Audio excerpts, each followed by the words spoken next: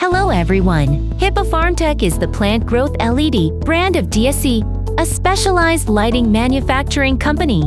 Hippo Farmtech has installed six plant containers in Sangju, Gyeongsangbuk-do to research better light for plant photosynthesis.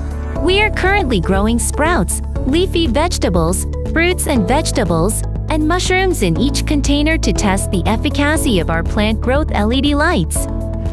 We are conducting research to see how changes in lighting products affect plant growth.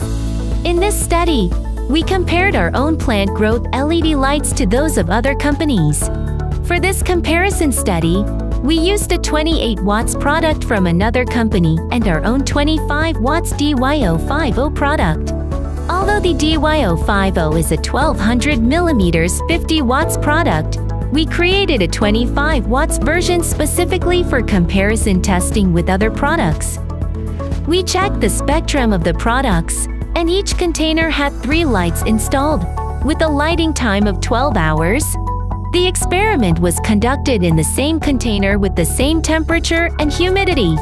The crop used for the comparison was lettuce, which was harvested 35 days after planting, 15 days after formal cultivation.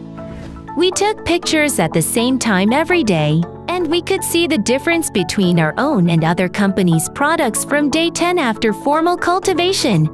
After harvest, we measured the size, weight, color, and sweetness of the crops. The average weight of the other company's product was 9.6 grams, while our products was 16.1 grams.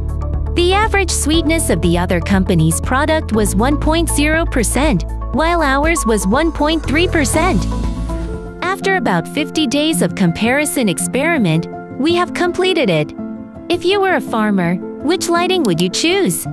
It's definitely Hippo Farmtech's plant growth LED. Thank you for watching.